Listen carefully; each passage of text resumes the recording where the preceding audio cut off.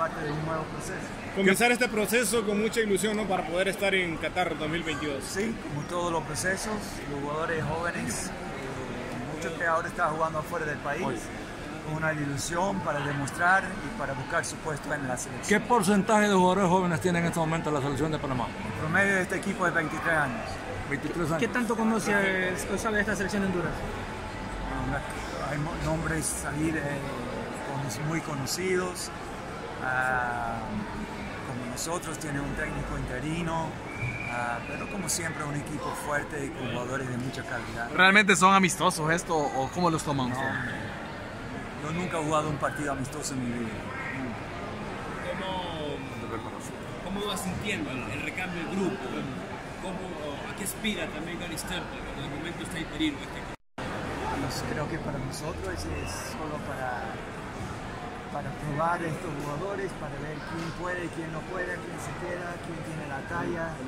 Ah, estamos muy claros en que el proceso es eso, pero también estamos muy claros que, que más que todo en esta región, que pierde un partido, tal vez se pone histérica ah, y a veces los procesos son un poquito difíciles para cumplir. Gary Stempel es... un termómetro para poder designar los que van a estar ya en el proceso para el? No, hay muchas cosas que, que tienen que pasar. Apenas estamos empezando. Todavía hay otro, ah, otros juegos. El próximo año hay Liga de Naciones, hay Copa de Oro. Hay muchas cosas que pueden determinar. que- Es el apagafuego Gary Stempel de la selección panameña porque siempre que se le llama está presente, ¿no? De esta selección panameña. Bueno, es la segunda vez, la última vez, casualmente fue aquí mismo, en 2009, cuando ganamos la Copa Naciones de Tegucigalpa. Siempre tengo bonitos recuerdos de este lugar, ojalá lo vamos a tener este día. Ya conoce el fútbol hondureño, no, no necesita mucho para enfrentarse este viernes a Honduras. No, yo creo que el fútbol aquí de Centroamérica, todos nosotros lo conoce- no- nos conocemos bien. Ah, no hay secretos es- en, en- en el fútbol o en el estilo de fútbol de Panamá. Todos conocen sus jugadores, sus biotipos. casi todo. una oportunidad que se nos presenta de poder representar a nuestro país y bueno,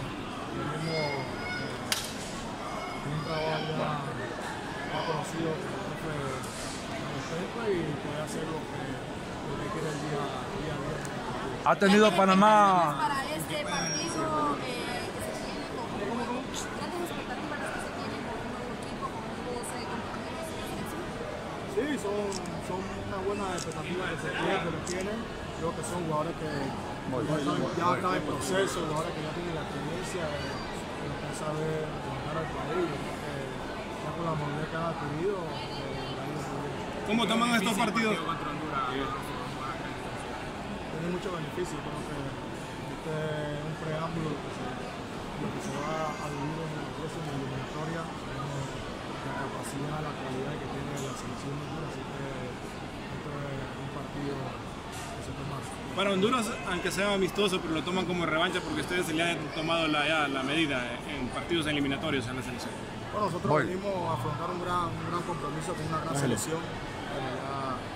Lo de revancha tendrá su, su personaje que lo hablará, pero yo no, no hablaré hablaré de, lo que vamos a afrontar, una selección grande como Honduras, con grandes jugadores que vienen en un gran momento y bueno, sabemos que, que no va a ser fácil. Con Gary Stemper han sentido los cambios... eh, Con Gary Stemper han, han sentido los cambios en la selección de Panamá.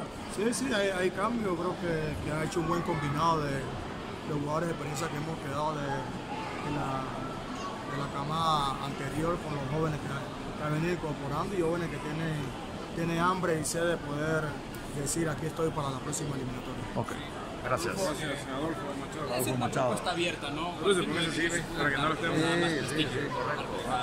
Viene ahora. Sí, sí, profesor. Eh, nosotros hemos aprendido que, que cada uno de los partidos nosotros tiene que ser serio.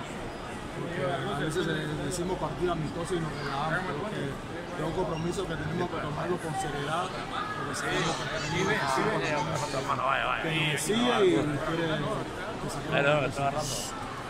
Gracias más.